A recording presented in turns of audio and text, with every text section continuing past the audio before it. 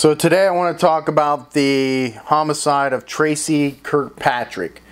Tracy was a 17 year old senior and she was murdered in Frederick, Maryland on March 15th, 1989.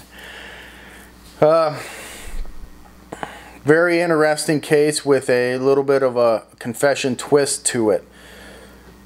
It- What's important to remember about these videos and these cases is sometimes we don't have all the information. Most times, that's the way it is.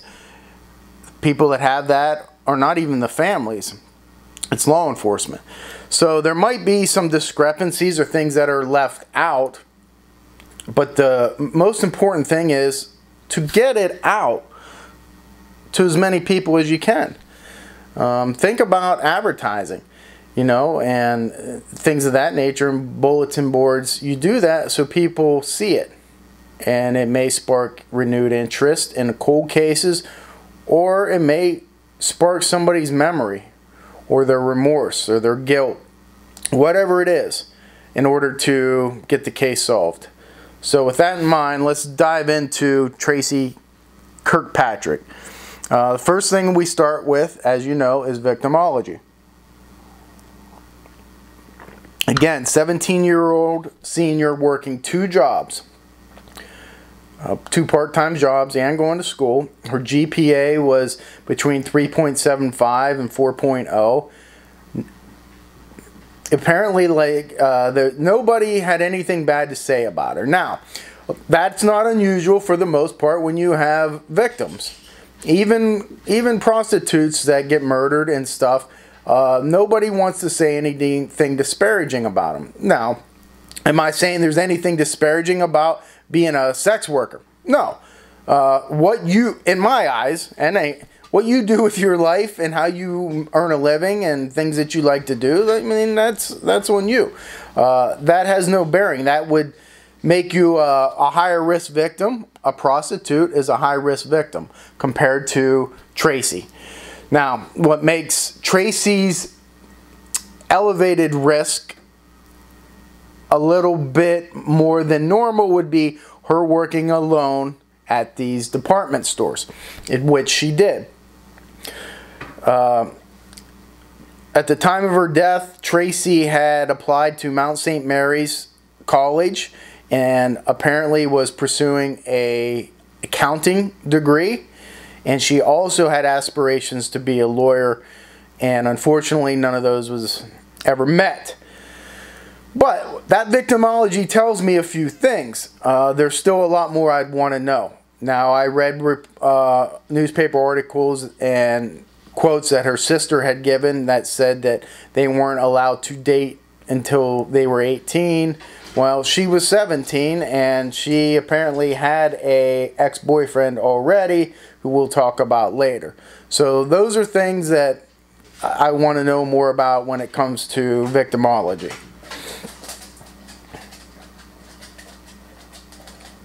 So that pitter patter of feet you hear again is my dog Justice, who just cannot seem to leave me alone anymore when I am recording.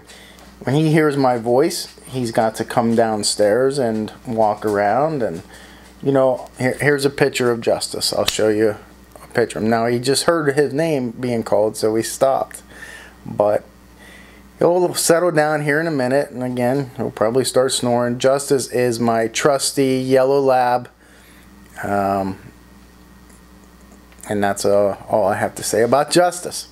So if you hear the pitter patter of feet, it's just his toenails on the wood floor. Now let's get back to Tracy.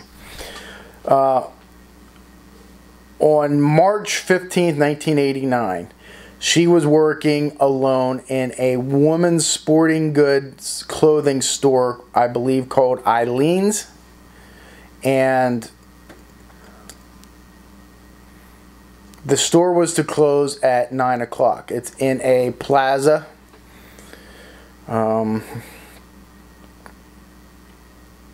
we'll get into the timeline, uh, and which is very narrow, of when things occurred.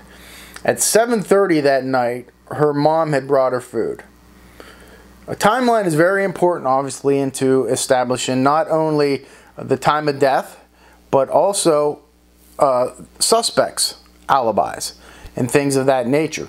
So at 7:30 p.m., mom brought her food. Everything's okay. She said she was tired. She wanted to go home, go to bed. Then nothing unusual. Eight o'clock, the manager called. To, I believe they called, and this is when the discrepancies come in. I don't know if they called or they showed up. Uh, regardless, they checked in to see how everything was going. That could just be a manager covering their ass because having a single person, 17 year old, close a store um, by themselves. I don't know. I think it's frowned upon today. I don't think it would happen today. But back then, maybe it was more prevalent. Uh, could that deter a criminal? Sure. But you look at my previous video uh, that I did on the yogurt shop murders and how I believe four girls were killed and burned uh, and sexually assaulted Apparently, numbers made no difference in that case. However, it certainly could in this case. So 8 o'clock, everything's okay. 9 to 9.30, security guard who is an off-duty deputy, sheriff deputy, uh, moonlighting, if you will. He has another job as security officer. He goes by and he still sees the lights on. Uh, he believes that she's just still closing up the store and is not alarmed. But he sees nothing out of the ordinary. At 10:45, the same security guard goes back by the door the store and notices the lights are still on. Now, red flags go up for him. He goes inside and in a storage room, which is important, they find the body of Tracy Kirkpatrick. She was stabbed to death. So there's your timeline. Um, I think you can narrow it down between 8 and 1045 at the greatest and maybe you know from 8 to 9:30 at the latest but you would be making an assumption there, and we shouldn't do that. In any investigations.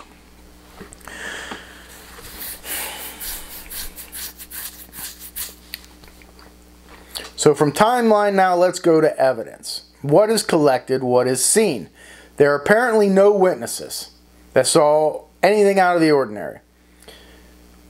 Now, that is not uncommon.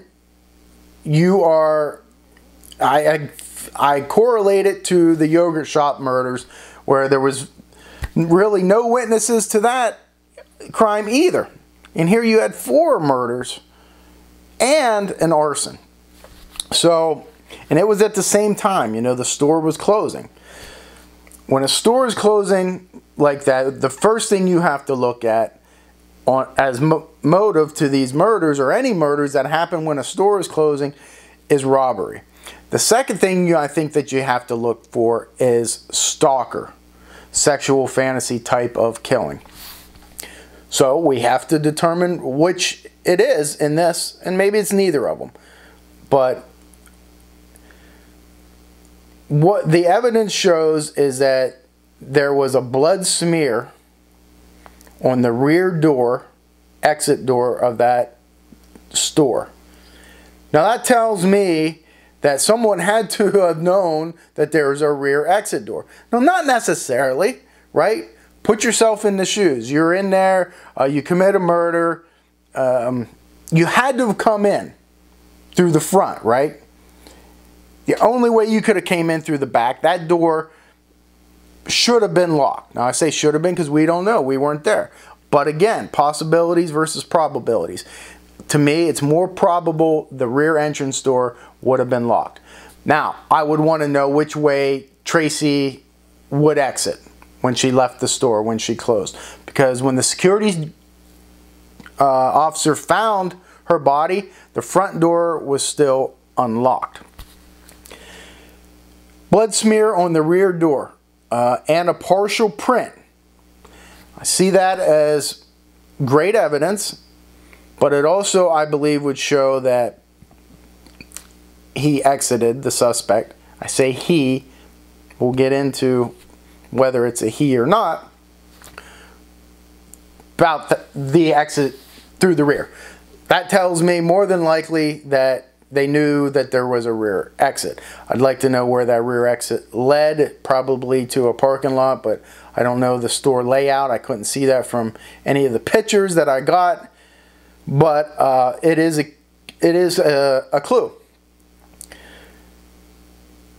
Now let's get into some some discrepancies. I preach this over and over again unless you have the police reports, you are always guessing and hoping. You're hoping that it's right, that the information that you are starting your investigation on is correct.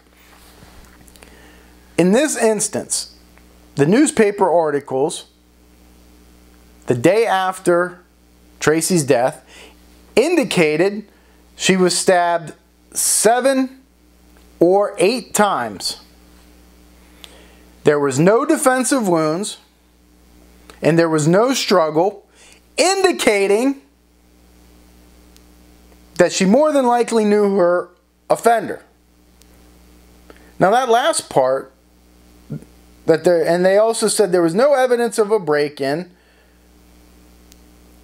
which would lead investigators to believe she knew her killer. Man, I have a big problem with that. Big problem with that. You cannot deduce that because there was no break in, that she knew her killer.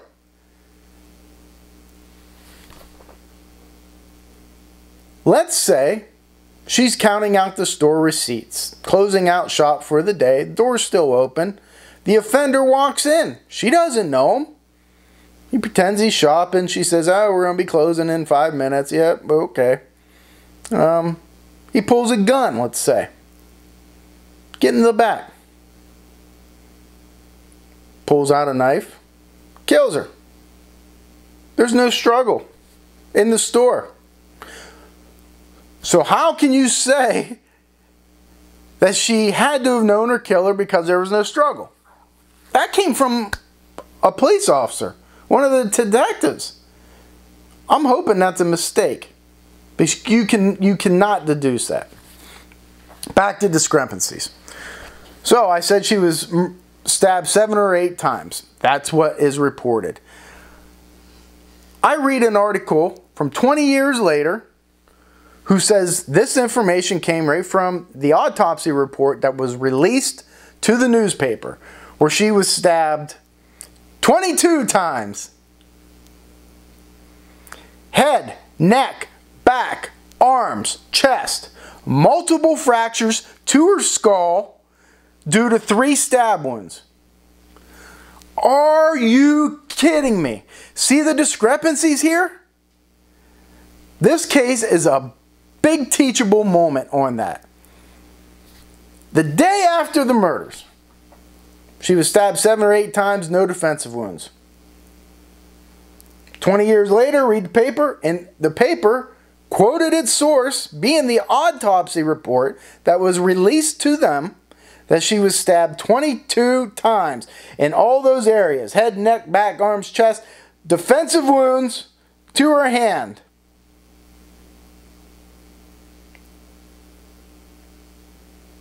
That changes everything. Right? boggles my mind how things get distorted. That is one of the reasons. Don't get upset at the police officers for not releasing info or thinking you know more than the police. Because I'm only here to tell you, you don't. Now, you can get mad at me. You can say what you want. The reason that is, is because they have all the info. Now, you may be smarter than the police when you get all that info and put it all together. Yes, then maybe. But knowledge is power, and they all have that. Now, what they choose to do with it, how you interpret that knowledge, well, that's a different story. So, it goes from a 7 or 8 stab wound, which tells me one thing, to 22, which tells me something completely different. Defensive wounds now, where before it was saying there was not one defensive wound, and she knew her killer. Changes things, okay? Now, that's not the most disturbing part about this case. The most disturbing part about the case is in June of 1990. So, uh, over a year. But according to the caller, a few months after this murder, there was an individual who made a call to a national confessional hotline. Didn't call the FBI, didn't call 911, didn't call police department, didn't call the newspaper like Zodiac would have. What they did is they called this national hotline. Now, what I find interesting about this national hotline is that it's a pay by the minute type of deal where you call and confess your sins. And then people pay to listen to them. Regardless, an individual called in and confessed to this murder. And I want you to listen to this confession and get your thoughts on whether you think this confession is valid or not. Take a listen. Hello, my name is Don, and I'm calling from Frederick, Maryland. I know this is going to sound surprising, but three months ago, I stabbed a girl to death. And you might think that in making this tape, I'm setting myself up to be caught, but there are a lot of guys named Don in Frederick girl I killed was working in a ladies' sportswear store. I often came by and talked to her when she was working alone. And one night when she was in the storeroom and we were talking, our conversation turned into an argument. And so I took out a knife that I have with me at all times and I killed her. And uh, a few days later, I realized that I had created a lot of sadness. I thought about turning myself into the police. But whatever they do to me, that won't bring Tracy back. So I decided that I better keep free because we have the death penalty in Maryland. Uh, thanks for listening. I'm sorry about what I did, but nothing can change it. Bye. Now, what do you think? right off the bat, I would say it sounds legit. Now, again, we don't know if this is the full confession. What are the police holding back? Much like in the Delphi case, they're holding some information back. And you, you do that for specific reasons. Let's think about this case specifically. Originally, stabbed seven or eight times, no defensive wounds. That's what's put out, okay? That may have been done intentionally, and I'll tell you why. Is because now, let's say they get a suspect, and they ask the suspect when they're questioning them, or let's say the suspect confesses. Okay, you killed her. Tell me how it happened. Well, we got in an argument, and I stabbed her Well, how many times did you stab her, sir? Seven or eight times. Did she put up a struggle? No, she didn't. Well, guess what? You just booted him right out onto the street where he came from because he got all that information from the police that who released that information to the newspapers. Because we know she was stabbed 22 times and she did put up a struggle and she did have defensive wounds. So now do you understand why police do that? I'm not saying that happened in this case. It seemed very plausible that that is what occurred, but we don't know. So, at some point in time after this confession, a person calls the police and says, I recognize that voice. She's a psychic. Now, you all know how I feel about psychics, but regardless, she's a witness now. She says she recognizes the voice, why, how? Well, apparently, this individual had sent her newspaper clipping articles of the murder and was having some sort of correspondence with her. Because this guy who doesn't seem to be the sharpest knife in the drawer put his return address on this correspondent with this psychic, they were able to conclude, they being the police, that the person that called the confession line and this person who is corresponding with the psychic are one and the same. And they subsequently do a search warrant on this guy's house. Now, I failed to mention that they were able to trace the confession call to Frederick, Maryland. Now, to me, that is significant. Could have been anywhere in the country because remember, this confession hotline is out of Las Vegas. But somebody from that very town where this girl was murdered called for the confession. It was at a supermarket payphone. Now, that tells me that the person is smart enough to know that I have to use a payphone in order to make this call. Thinks he's smart enough. Um, so then it begs the question whether his real name is Don. Now, the psychic said that her correspondence was with a guy named Sean. So you see, Don Sean, is he making up the name? What's the deal? I don't think this guy has ever been publicly put out there as a suspect, but he obviously was. And they got a search warrant, and the search warrant was for some items in his house, but also from his body. So they were taking hair samples and stuff to compare to what they have in evidence. It's a good thing that his name was not put out there, right? I'm, you know, I'm a big believer uh, that we should never do that. Morbid, I believe, from the Lisa Lamb thing. Um, I mean, there's so many others. I mean, that's just the one that sticks out to me the most.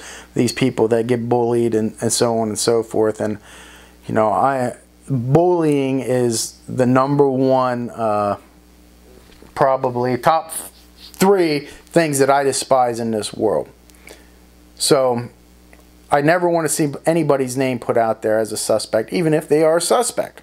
Like we're going to talk about a couple suspects that I believe sh- should be looked at and probably were, but I'm not going to mention them by name uh, because I don't do that.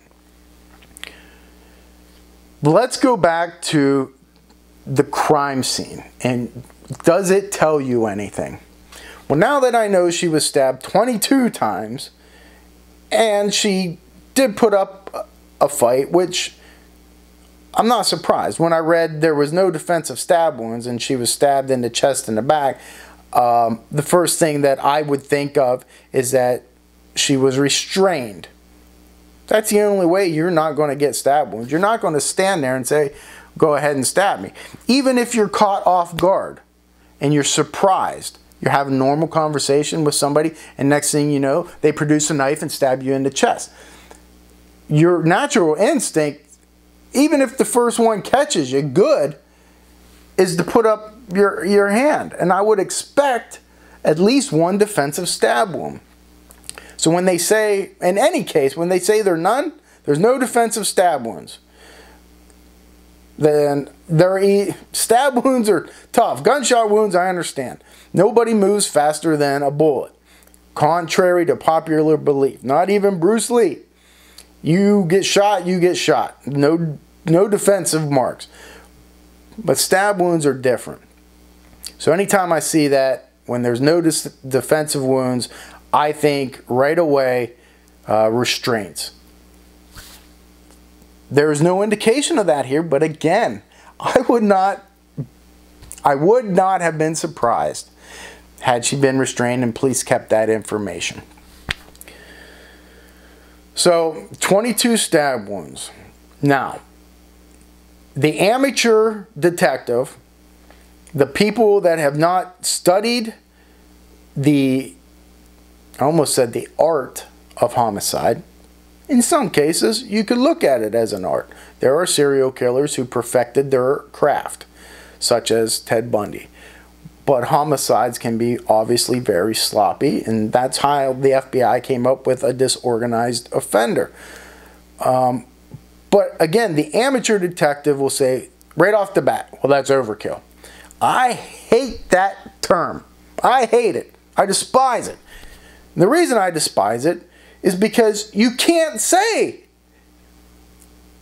Let me take it back. You can say it's overkill. Anybody can say anything they want because the first stab wound killed him.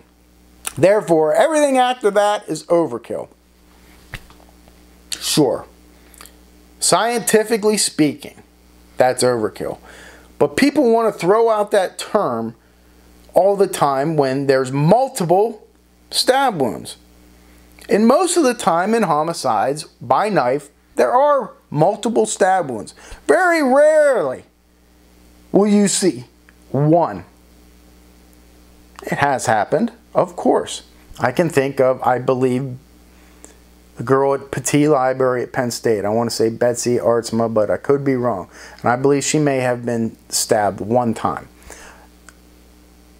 But generally speaking, just like everyone wants to tell me, well, you always say that killers bring their own weapons. They don't go to a house with the intent to kill and not bring a weapon. Tommy Lee Sells did. Tommy Lee Sells. Tommy Lee Sells. I'm so sick of hearing Tommy Lee Sells. Yes, it does occur. But I'm saying, out of 99%, you will always have that 1%. Okay? So, overkill is a term that I think is thrown about too much. And then you want to go further and say, because of overkill, it has to be somebody who knew her. No. That's how innocent people get locked up. That's how innocent people go to jail and become suspects and have their whole life ruined. Because now you're focusing in on a boyfriend, people who don't, okay, you're, now you're focusing in on a boyfriend. You go and interview the boyfriend, and all of a sudden he doesn't have an alibi because he says he was home and in bed. And it's the truth. But he's forever linked to this murder now because you want to say it was overkill. And because it was overkill, it was jealousy and. Pa- no. Don't go that deep. Okay? 22 stab wounds. What does that tell you? It tells you, A, he just kept stabbing, stabbing until she stopped moving. That's how the offender knew she was dead. Okay? Or, yes, it could be that I have so much anger for you that I'm just going to keep stabbing until I'm tired. Yes, it could be that. But you don't know which one it was. Okay? We cannot make that determination. You can't. So,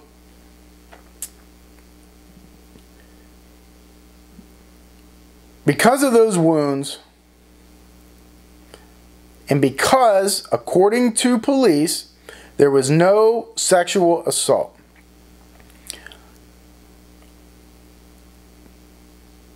I was going to say I find that odd, and I do a little. Um, I would certainly, you have to look for why somebody is murdered. Okay? Again, greed, jealousy, money, robbery, that all falls under greed. Uh, sex, without a doubt. Um, revenge. Those are reasons. And you have to determine what. And you can do that sometimes by looking at the body. In the 22 stab wounds, if there was sexual assault there, okay, now we're looking at a sexual fantasy um, type of, of murder where a sexual assault occurred. But according to police, it didn't occur here. So now, if you're going to rule out the sexual assault component of it, you have greed and jealousy um, you have revenge. Did she wrong somebody? So basically, you're looking at whether it's a robbery or did she wrong somebody? Well, according to police, there was no no money taken, no robbery. Yet I got a problem with that. Initial reports again state nothing was taken. There was $60 in the cash register. It was not taken. Nothing missing. But then I find a news report years later where they were interviewing the dad. And the dad said, yes, her car keys were missing, store keys were missing, her wallet was missing. And then in another report, it said her entire purse was missing. How can you rule out robbery? Because there's $60 in the cash register? You cannot rule out robbery as a motive if her purse was taken. If her wallet was taken and there was money in it according to dad.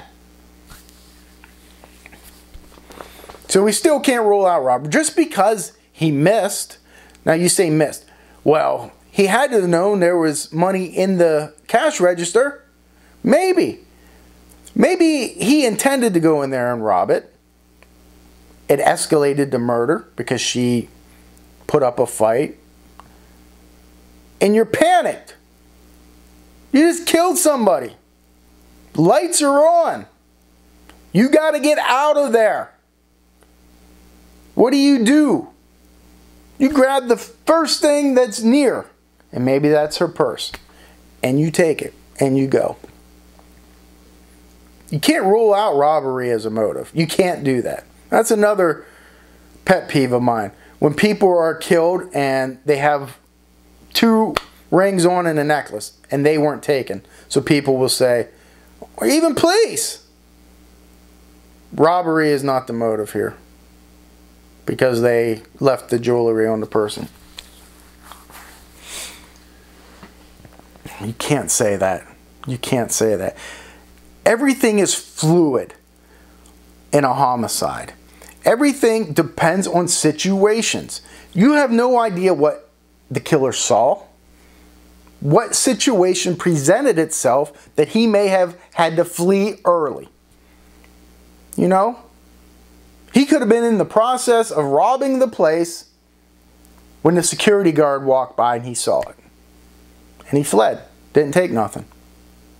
Okay? So we can't rule out robbery. Now, the jealousy part of it. This is an area of interest of me.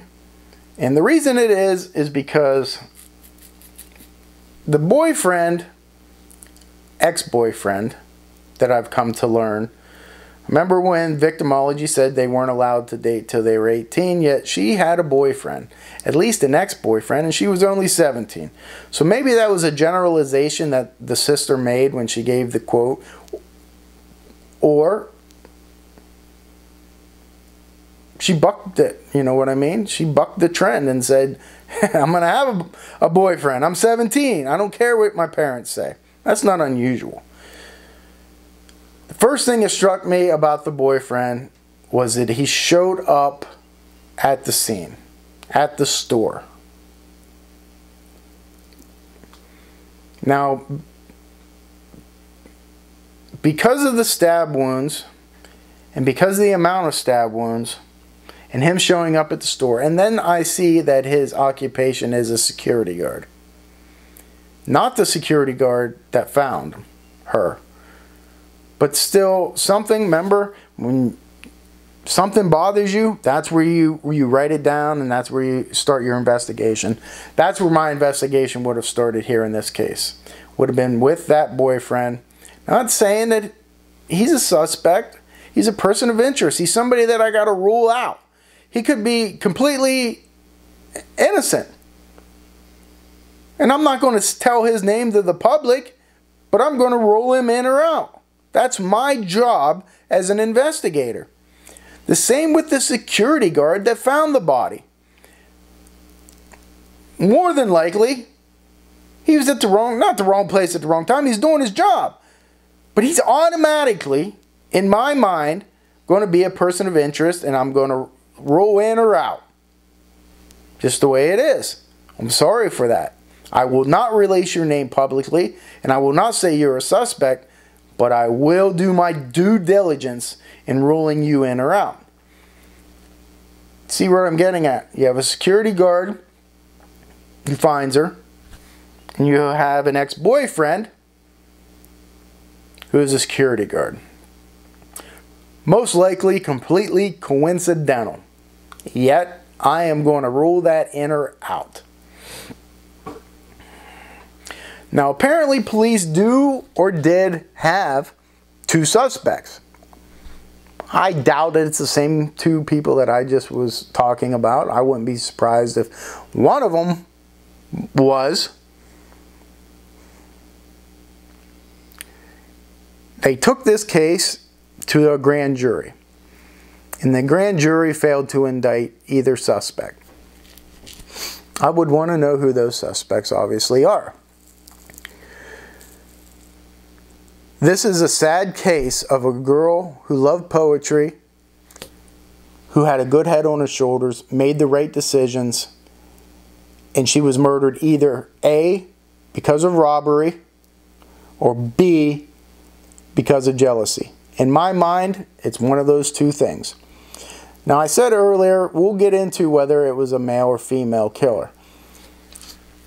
I have not ruled out a female as an offender in this. I'd seen nothing to indicate that uh, it couldn't be. I would, because, and let me preface this, because when you have a victim who has no enemies that you know of, you have to look at who would potentially have such disdain for an individual. A lot of times, disdain will come from jealousy. And jealousy often comes from lovers. I've seen a lot of girls do a lot of crazy things that I never thought I would see over a broken relationship or over fighting for a guy. That has to be looked into in this instance. Be pretty easy to rule out. I mean, you look at her ex boyfriend, if she had more than one, and you look at their love interests at the time, and you could rule them in or out. Just because a person was stabbed multiple times, don't rule out a female. Okay? I think you make a mistake when you do that. However, when you start looking at possibilities and probabilities, uh, based on statistics alone, I would say that it is possible it could be a female offender, but it is more probable that it is a male.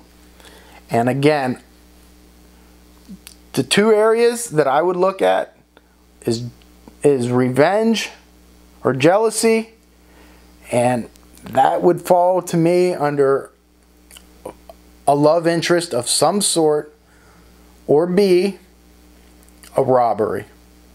Okay? it's happening when the store is closing. That is a good clue. That is somebody that knows that shopping mall area. Um, but the problem that I have with that, and it's a small problem, and I could get over it quickly, is if a person is casing that area, let's say he is targeting that for a robbery, and the reason he is, is because he sees her as the weak link.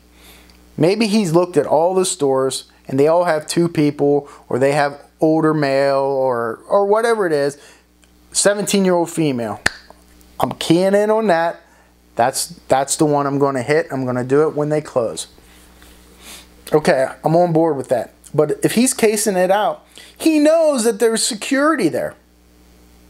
Okay? This happened on a wednesday as well. I'm a firm believer that most nefarious activities happen on the weekend. Yet I've been surprised at the amount of nefarious activities that take place during the weekday. And that's because criminals, and let me say, a lot of times it's because alcohol is involved on a lot of crime. In addition into homicide. And that's why the weekend, when people aren't working, is when that usually increases. The weekday, it happens as well. Uh, but this is a Wednesday at 9 o'clock. To me, this is somebody that knows her routine. Could it just be a stalker, as I talked about earlier? Sure. But I would, I would certainly think that there would be indications of a sexual assault. Reason being as well, she is removed from the main area of the store and she's taken to a, a change room or a storeroom where they store items. I would want to know why, what is that used for? Is that where she kept her purse and her coat? Whoever did this, I think, led her back there. She's not going to go back there and leave that front door unlocked. Remember, you can go back to victimology and it would tell you that she's a responsible person. Okay? You guys hear that? That's faint, but that's Justice snoring. Justice, wake up. Hey. He opened his eyes, but he didn't move. Uh, you know, Justice made me lose my train of thought. Storeroom. Why was she taken back there? If there's no drag marks in blood, um, that means she was taken back there while she was still alive. I, I highly doubt that somebody would surprise her back in that storeroom, right? Um, she wouldn't go back there without locking that front door. So that tells me that the person came in, doesn't mean that she knows the person. The person came in, accosted her, took her probably at knife point back to that room, and that's where he killed her. Now you go back to the confession where he says, we were in the storeroom and an argument ensued. I have a hard time believing that she would be back there with somebody. I just, unless it was like a friend of hers, but even so, I think she would have locked that door. No, she was taken back there at knife point before 9 o'clock, before she was to close that store. And they killed her back there. Now, again, just like I said with um, robbery, you can't say that robbery wasn't the motive. You can't say sexual assault wasn't the motive because maybe something interrupted that sexual assault. The security guard, phone ringing, whatever it was. But a lot of times in sexual assault murder cases, they will they will go ahead and finish that fantasy regardless even if it is just the act of pulling up a shirt and exposing the breast or pulling down the pants, it will still occur even after death, even if they are spooked. They may not do the assault itself, but something in a sexual nature will occur. And apparently, I don't know, just what's being reported, that isn't the case. So if that isn't the case, I would say it's more probable than not that it was a robbery. Her purse is gone. Why would the offender take her purse if it isn't a robbery? Sure, it could be sexual assault as the primary motivation of the uh, crime and a robbery as second assault. It could be, but there was no indication of sexual assault. So then you have to defer to it being a robbery. And if he takes her back to the store the storeroom, kills her, lights are still on, door is still open, he probably is scared to go back out into full view of everything and risk being seen. So instead, he just takes what's there, which is in that room, is her purse, more than likely in that room. I could be wrong, but I'm guessing her purse was probably there, and exits. Now, because of that, it would tell me that more than likely he's not a, a, um, a seasoned criminal. Meaning he probably, he may have done it before. I guess I can't say that for sure. But if he was an experienced criminal, you know, I don't know, it's hard to say, but you would think that if he cased the place out, uh, he would make her lock that door. Maybe not. Maybe that's too too much thinking into it. Um, but he would have taken that money right away. Who knows? Uh, it still doesn't deter me from the thought that if she was not sexually assaulted, that it was robbery. Just because they left $60 in the cash register, it doesn't mean that it's not robbery. Okay? Um, could have been a juvenile type of offender, uh, maybe the same age, 17, 18, probably somebody that still had a car. Now, her car keys is missing, but her car was found in the parking lot undisturbed, which tells me that, and, and the store keys apparently were missing too. You take those things, but maybe it's just because they were in the purse. You know what I mean? Uh, and they have no significance, and he had no indication that he was going to come back. Um, it'd be just too too risky. Experienced offenders do that. We've seen Ted Bundy do that. But this is not I, I would certainly would be I wouldn't think that this is a serial offender. Okay? You're not looking at a serial killer in this instance. Is it the guy that confessed? Apparently, police have ruled him out. I would like to know how they ruled him out. I would not be so dismissive. Um, I would, and I'm sure they looked into him hard. I mean, obviously, they did a search warrant at his house. So, but I'd be looking at the boyfriend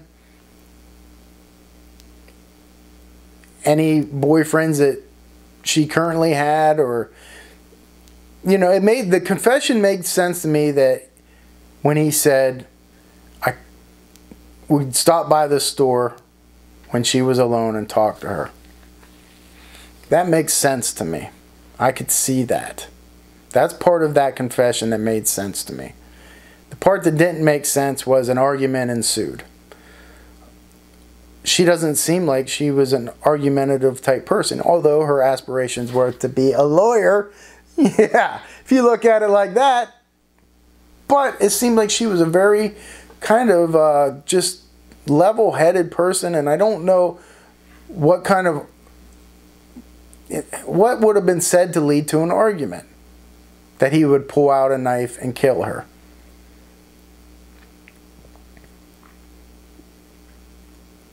Something derogatory, sexual in nature? Maybe. But again, victimology will tell you that. What would get her to start an argument? Um, store needs to be closed and you're bothering me. I don't know.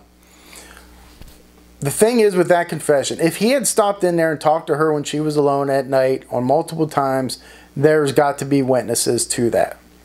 And if none came forward, I would think maybe that it was a hoax. I just I, I can't say whether it was or it wasn't. We've seen cruel hoaxes before in the Brian Shaffer case. We've seen it in Cheri Jo Bates's. I mean, these idiots uh, will go to great lengths just to to be idiots. Uh, there's nothing else I can say about that. Now, another area that I would certainly look at when that confession guy said about coming to the store and talk to her. You know who does that a lot? Security guards, mall security guards, store security guards. You know how I know that? I was never a security guard, but I worked loss prevention and I was undercover and I worked for a private investigator. This is before I became a cop. And you know what I did a lot? I talked to the clerks to pass time, so on and so forth. So, I could certainly see a security guard going and talking to Tracy. Now, one of the things that really bothers me in this case, and it should bother you, is if we rule out robbery, which, you know, very well could be, um, is when I was researching this case, I found one newspaper article that mentioned the security guard. And guess what his name was? Don. The same as the confession tape. Hey, I'm not saying Don is the person who did this, but he would be right up there at the number one top of my list as somebody that I would look at. I mean, come on. Security guards always go around and talk to the clerks, especially the female clerks. Uh, and for his name to be Don and the confession tape Don. I mean, you should be able to compare the voices on that tape to Don, the security guard. But man, maybe that just lines up too perfectly. But to me, that is something that certainly has to be looked at in this case. And I would look at that right above robbery. So I would have the security guard, I would have robbery, and then I would have jealousy right underneath that. That would be the order that I'd be searching. All right, uh, one of the last things I want to talk about is they submitted evidence in 1998 and 2003 for DNA testing. Apparently that has come back nothing, and then they resubmitted in 2009 for touch DNA. So police are definitely trying. There's no doubt about that. Uh, Touch DNA, I think, certainly in any close combat situation like this where stab wounds were present, more than likely the offender touched the victim and the, her clothing can be sent for touch DNA. But again, remember, uh, transferred DNA, especially working in a department store, could be certainly abundant in a case like this. So, I think that is everything that I can go over on this case.